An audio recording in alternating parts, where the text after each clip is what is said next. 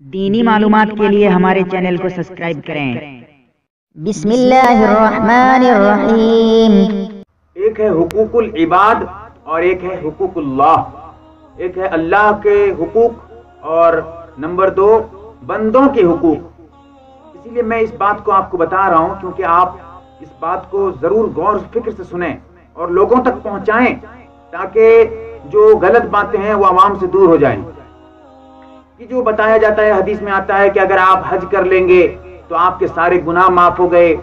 اگر آپ جو ہے توبہ کریں گے تو اللہ تعالیٰ سارے گناہ کو معاف کر دے گا۔ اور اگر آپ اللہ کے راستے میں قتل کر دیے گئے، جہاد کرتے ہوئے شہید ہو گئے، تو آپ کے سارے گناہ معاف کر دیے جائیں گے۔ یہ سارے گناہ سے کیا مراد ہے؟ تو اسی لیے میں یہ کہنا چاہتا ہوں کہ ایک ہے حقوق اللہ اللہ کے حقوق۔ آپ نماز چھوڑ دیے تھے، نماز نہیں پڑھ پائے تھے۔ تو اب اگر آپ توبہ کر لیتے ہیں، حج کر دیتے ہیں، یا پھر جو اللہ کے راہ میں شہید ہو جاتے ہیں، تو پھر آپ کے جو نماز چھوڑنے کا جو گناہ تھا، وہ گناہ آپ کا معاف ہو گیا۔ نماز تو پڑھنا ہے آپ کو۔ نماز پڑھنا پڑے گا، لیکن نماز چھوڑنے کا جو گناہ مل رہا تھا آپ کو، وہ گناہ آپ کا معاف ہو جائے گا، اس کا جو ہے سوال نہیں ہوگا قیامت کے دن۔ تو بہرحال، لیکن جو حقوق العباد ہیں، حقوق العباد حقوق العباد بندوں کے حقوق، مثال کے طور پر کسی کی زمین آپ ہڑپ کر رکھ لیے تھے، کسی کی زمین تھوڑی سی بھی زمین، آپ اس کے علم کے بغیر آپ اس سے زبردستی کر کے یا کسی اور کی زمین آپ اپنی زمین میں شامل کر لیے۔ ہیں کسی کی زمین کو رکھ لینا یا پھر کسی کا پیسہ رکھ لیے ہیں آپ۔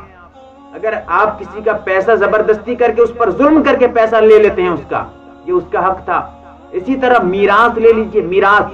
میراث میں بیٹیوں کا حق ہوتا ہے اگر آپ بیٹیوں کو حق نہیں دیتے ہیں، بیٹی چاہتے ہیں کہ مجھے حق مل جائے، اس کے باوجود آپ اپنی بہن کو حق نہیں دیتے ہیں۔ یعنی میت کی بیٹی کو حق نہیں دیتے ہیں، اس کے حق کو چھین لیتے ہیں۔ تو یہ اس کا حق تھا۔ تو اب جب آپ توبہ کر لیں گے، یا پھر جو ہے آپ شہید ہو جائیں گے، یا پھر جو ہے آپ حج کر لیں گے، تو ایسی صورت میں آپ کا جو اللہ کے حقوق ہیں، وہ تو معاف ہو جائیں گے۔ لیکن بندوں کے جو حقوق وہ معاف نہیں ہوں گے۔ حدیث میں بتا دیتا ہوں آپ کو۔ ان انس رضی اللہ تعالی عنہ قال قال رسول اللہ صلی اللہ علیہ وسلم، القتل فی سبیل اللہ یکفر خطیہ فقال جبرائیل الا الدین۔ فقال رسول اللہ صلی اللہ علیہ وسلم الا الدین۔ مسلم شریف میں حدیث نمبر 1640 پر موجود ہے۔ جس کا خلاصہ اور مطلب یہی ہے کہ اگر کوئی قرض آپ کسی کے قرض لیے ہیں، کسی کا قرض لیے ہیں اور قرض ادا نہیں کرتے ہیں، تو قرض کس کا لیے ہیں؟ کسی انسان کا، کسی بندے کا۔ تو آپ جب تک اس کا قرض ادا نہیں کریں گے، آپ کو قرض ادا نہیں ہوگا۔ آپ معافی مانگ لیں یعنی توبہ کر لیں اللہ سے، حج کر لیں، شہید ہو جائیں، پھر بھی اس کا قرض معاف نہیں ہونے والا۔ جب تک وہ معاف نہیں کرتے اسی لیے میں تمام حضرات کو یہ کہنا چاہتا ہوں، یہ پیغام دینا چاہتا ہوں کہ اللہ کے لیے وہ کام مت کریں جو حقوق العباد کو آپ پر ذمہ داری ٹھہرا دیا جائے۔ آپ ایسا کام مت کریں۔ کسی کی زمین زبردستی نہ رکھیں، کسی کا پیسہ زبردستی نہ رکھیں۔ اگر کسی سے قرض لیے ہیں تو ادا کر دیں۔ تاکہ اگر آپ حج بھی کر لیتے ہیں تو وہ معاف نہیں ہو سکتا۔ معاف ہوگا کب؟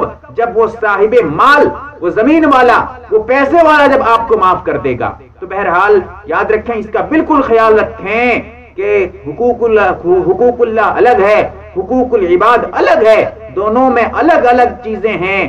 غور سے سنیں گے تو بات انشاءاللہ سمجھ میں آ جائے گی۔ اللہ تعالی ہم تمام کو صحیح سمجھ عطا فرمائے۔ دینی معلومات حاصل کرنے اور اسلام کا پیغام عام کرنے میں ہماری مدد کے لیے ہمارے اس چینل کو فری میں سبسکرائب کریں اور بیل والے آئیکن پر ضرور کلک کریں۔